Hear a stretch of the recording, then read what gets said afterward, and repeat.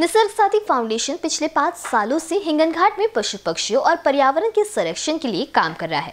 वह पक्षियों, पर्यावरण संवर्धन के लिए कार्यरत है। निसर्ग प्रेमियों, पशु और पक्षियों की बारीकियों से पहचानना, उसका नज़दीक से अध्ययन हो, निरीक्षण करते आए, इसके रहते शहर के दानशूर व्यक्तियों ने अति उच्च दर्जे की तीन दूरबीन उपलब्ध करके दी है। इस दूरबीन की सहायता से विद्यार्थी बिल्कुल नज़दीक से पक्षी परीक्षण कर सके और उसका ध्यान अध्ययन कर सकते हैं। निसर्ग साथी फाउंडेशन के निशुल्क बर्ड वॉचिंग कार्यक्रम के तहत पोथरा डैम क्षेत्र में स्कूल और कॉलेज के छात्रों के लिए बर्ड वॉचिंग कार्यक्रम आयोजित किया गया, जिसमें हिंगन घाट स्थित डॉक्टर अंबेडकर विद्यालय के छात्रों ने भाग लिया।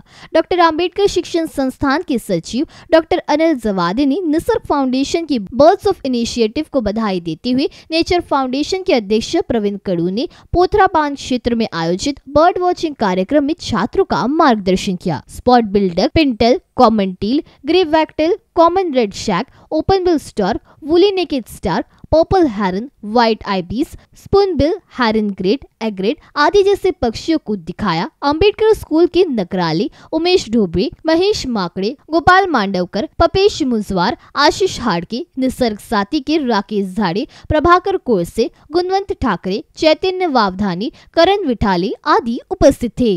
बीसीएन न्यूज़ के लिए हिंगन घाट से रवि येनोरकर की रिपोर्ट।